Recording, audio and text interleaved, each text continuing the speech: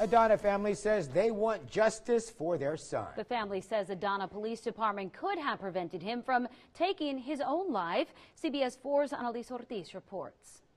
Every day, the Garza family can catch a glimpse of this mural of their son, brother, and cousin. We were very, very close. But they're also left with the reminder that Jose Luis Garza is gone.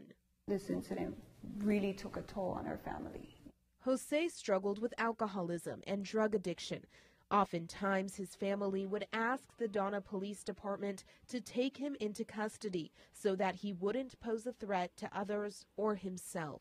That was the case on February 19th of this year. Mr. Garza's family desired that the Donna Police Department merely hold Mr. Garza until he had sobered up and then release him as they had done on prior occasions. But Garza wasn't released. He took his own life while inside of his jail cell.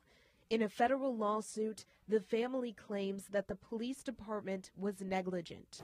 Garza was able to successfully cover the camera in his jail cell. The lawsuit claims that the officer responsible for watching those video monitors should have checked up on him at that point. What we are seeing thus far uh, indicates that the protective custody supplied by the Donna Police Department fell far short. The Garza family is hoping that the lawsuit will bring them peace as they continue to heal from their loss. As time has passed by, it is still difficult, but slowly, you know, we're all coping. Reporting in Donna, Annalise Ortiz, CBS 4 News and ValleyCentral.com. An attorney for the city of Donna declined to comment on this pending litigation.